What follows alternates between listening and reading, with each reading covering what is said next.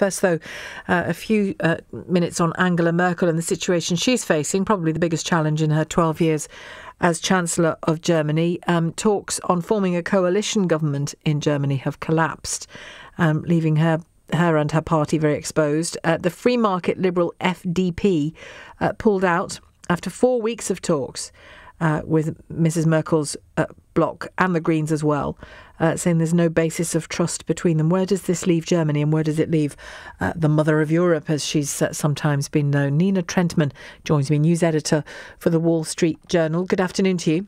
Hello, thanks for having me. My pleasure. Thank you for joining us. Uh, tell me how you read the scale of Angela Merkel's difficulties here.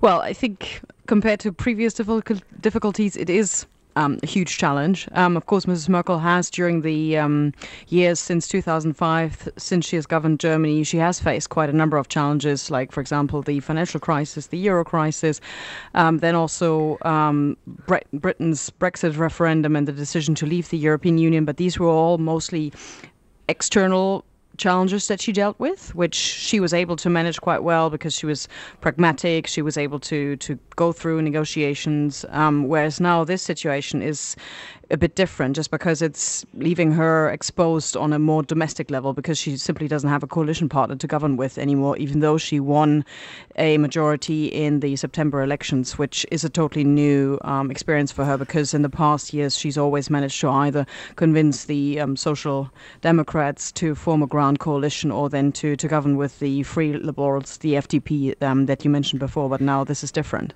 Lots of people um, uh, saying this could mean the end of the Merkel era. What might stop it meaning the end of the Merkel era?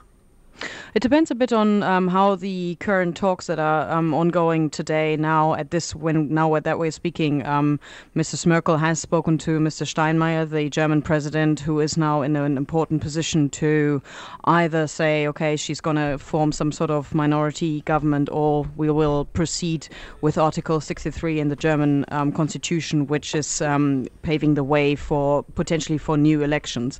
I think it depends very much on on the conversation between Mr. Steinmeier Steinmeier and Mrs. Merkel on whether he thinks that she can strike some sort of minority government deal with the Greens or whether she can maybe also convince the Social Democrats to go into a grand coalition with, with her again.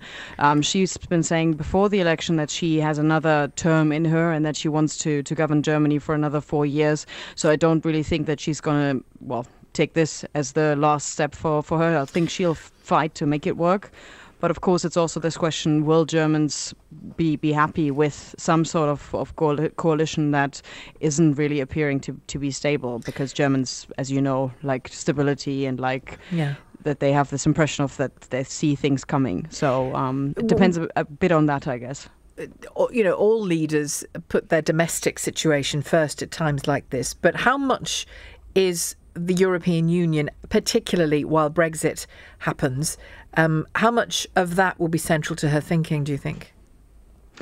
Um, well, at the moment, it seems that the coalition talks failed because of more domestic issues like energy policy, um, financial policy, and then also how to deal with refugees and the question of whether refugees can take their families to Germany or not. But of course, in the end, Mrs. Merkel has been the, the great well supporter of the European Union in the past couple of years. So this question of is she going out of this much more weakened than before, and is she becoming a weaker German leader? That of course would impact then how the European Union proceeds, given that Macron, the French president, was relying on her to to be his his buddy or his partner mm. in trying to move the, the EU forward after Britain's exit from the EU and into this new phase of a reformed EU. So if she was weakened and if she was weaker on a continued base, that of course would impact the, the European project um, that, that Mrs. Merkel has so, so far supported.